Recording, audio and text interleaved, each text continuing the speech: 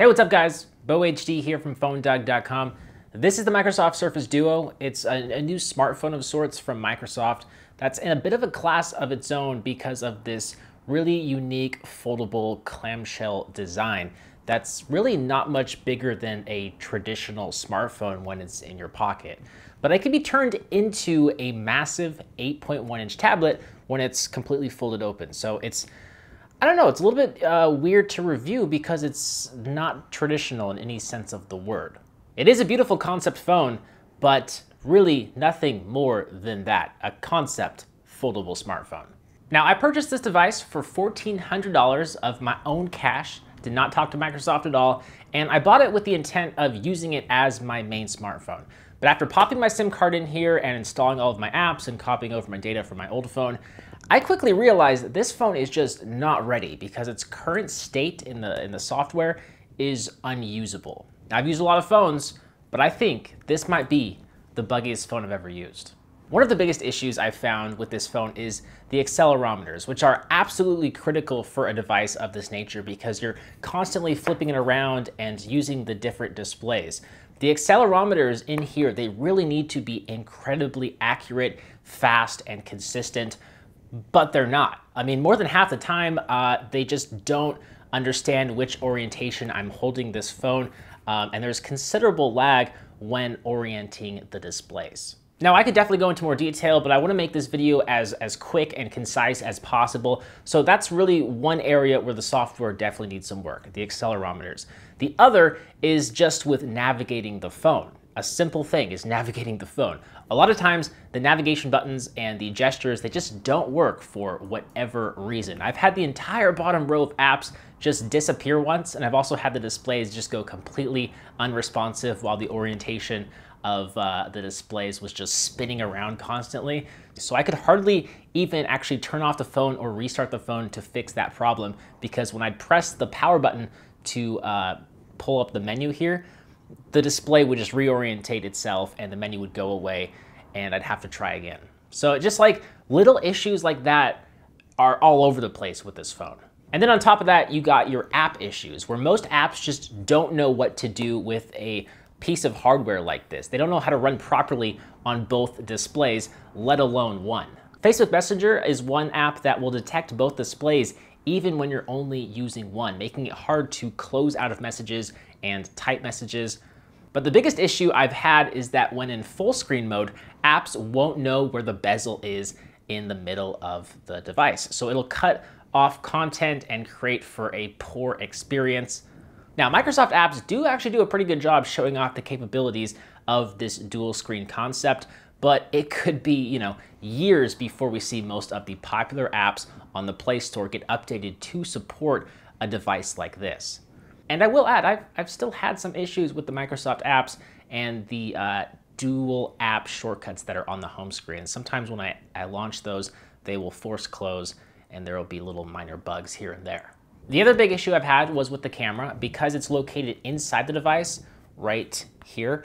Um, if you want to use it as a main camera, you're gonna have to fold the phone backwards and use the opposite display, which is a little bit awkward to use to say the least. But if you do get it right and the accelerometers detect which display you're actually using and you want to use, and the software does its job, you'll run into issues where the apps will think it's the selfie camera and they will actually invert the camera so that when you pan left, it'll pan right and vice versa. So that's a little bit annoying and you'll have to switch cameras pretty frequently in the apps that you're using in order to adjust for that. Now, once again, I could go on and on and on and list every single little issue I've had with this software. But the point of, of just talking about this and stopping right here is just to say that the software is extremely half-baked and it makes the phone unusable. And yes, I, I think Microsoft could very well issue updates to fix many of the software bugs that we've seen and I've discussed. But given how many issues there are, and especially how many of the issues um, have to do with specific apps themselves, it's gonna take at least several months, maybe even years for Microsoft to get this right.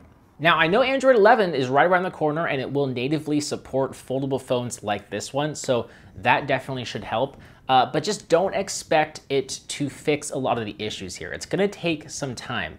It's just pretty amazing to me though that Microsoft shipped this phone in its current state because it's literally unusable. And anyone who buys this phone for $1,400 is gonna be disappointed and they're gonna be probably mad at Microsoft unless they just have so much money to burn that they only bought it to marvel at the beautiful hardware, which is really the only reason one would buy this phone. Heck, it's the reason why I bought this phone. I mean, look at it.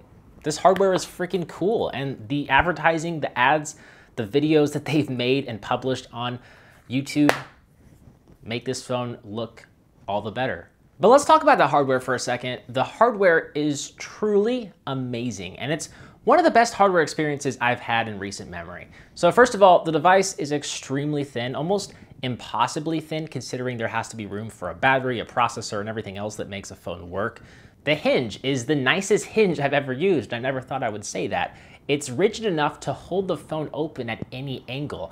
And I just love how it sits completely flat on a table or you can prop it up like a TP to watch movies or YouTube videos. Microsoft did a great job here with this hinge. The build as a whole, it feels premium with glass all around and metal accents. It feels like a device of the future and I truly think the hardware is ahead of its time. With that said, because it's so thin, look how thin this thing is. Uh, there's only so big of a camera sensor you can include here without making it protrude from the rear of, of the build here.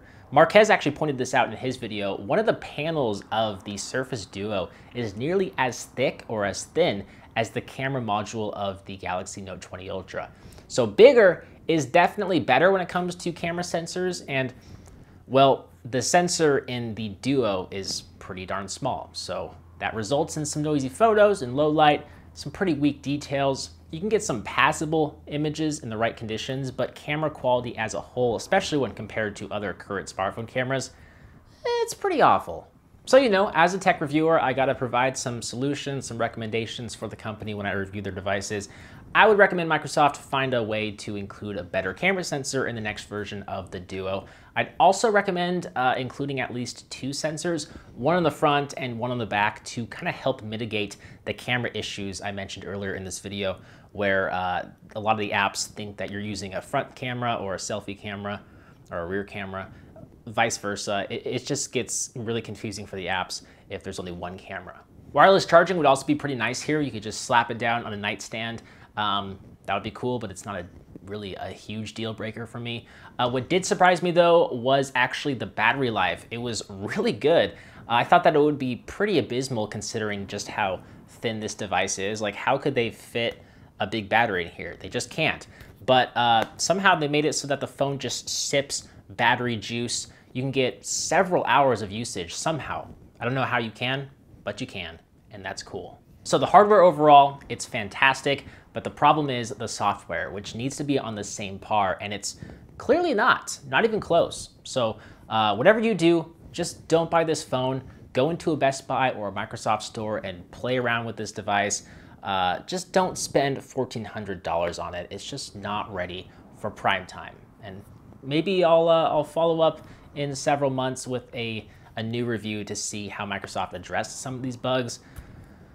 But most likely, they're still going to be there in some form. So that's my review of the Microsoft Surface Duo. Hope you enjoyed this video. Thank you for watching. I'll see you guys right back here in the next one. See ya.